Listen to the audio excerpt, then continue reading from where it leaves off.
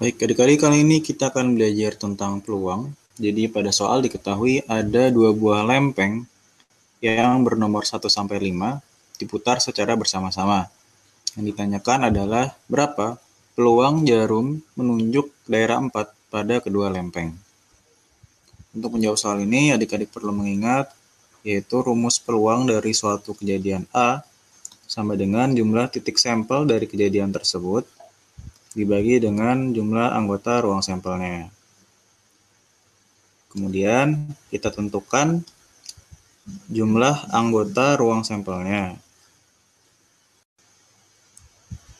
Nah, bisa dengan membuat tabel seperti berikut ini, sehingga bisa kita ketahui bahwa jumlah anggota ruang sampelnya itu ada 5 kuadrat atau yaitu e, jumlah nomor pada lempeng pertama dikalikan dengan jumlah nomor pada lempeng kedua.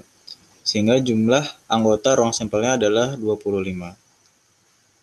Selanjutnya kita tentukan jumlah titik sampel dari kejadian A atau kejadian jarum menunjuk angka 4 pada kedua lempeng.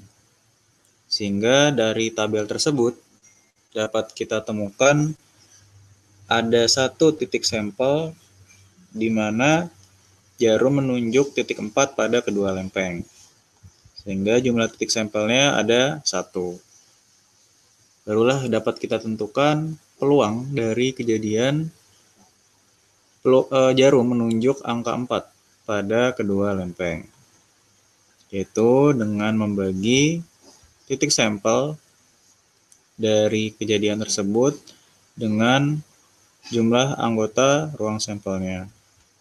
Sama dengan sudah kita ketahui titik sampelnya hanya ada satu dibagi dengan jumlah anggota ruang sampelnya ada 25. Inilah peluang jarum menunjuk daerah 4 pada kedua lempeng. Terima kasih, semoga dapat dipahami.